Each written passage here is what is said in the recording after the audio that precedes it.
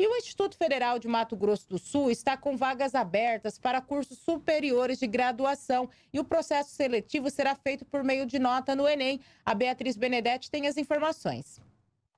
Está publicado o edital para o processo seletivo para o ingresso nos cursos superiores de graduação aqui do Instituto Federal de Mato Grosso do Sul, o IFMS. Lembrando que essas vagas são para os cursos que vão acontecer no segundo semestre de 2023. E hoje, para estar explicando para a gente como vai estar funcionando esse processo seletivo, eu vou estar conversando com o professor Edson Ítalo. Então, professor, muito obrigada por estar aqui conversando com a gente. E a primeira pergunta é, quantas vagas são destinadas aqui para Três Lagoas?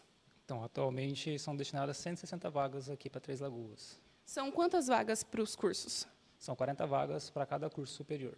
E quantos cursos estão disponíveis aqui no campus de Três Lagoas? Atualmente a gente está trabalhando com quatro cursos superiores, sendo eles Engenharia de Controle e Automação, é, Engenharia de Computação, Tecnologia em Automação Industrial e Tecnologia em Análise e Desenvolvimento de Sistemas. E quem pode concorrer a essas vagas e como funciona o processo seletivo aqui do Instituto? Pode concorrer todos que fizeram o Enem do ano anterior ou os outros anos e o ingresso é feito pelo SISU. E como é possível ficar sabendo de outros processos seletivos que está acontecendo aqui no IFMS? É, pode estar entrando pelo site do próprio IFMS, né, ifms.edu.br. Lá tem os cursos de graduação, não só daqui do campus Seis Lagoas, mas dos outros campos também, né, pode estar olhando e também através da página seleção.ifms.edu.br. E para esses cursos de graduação, a previsão é de começar as aulas quando?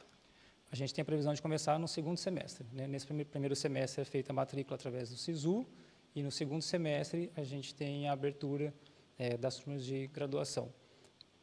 Perfeito, muito obrigada. Então, quem está com alguma dúvida, só é acessar também o edital para ficar sabendo se preenche todos os requisitos para ir fazer o ingresso nesses cursos. Eu volto ao estúdio.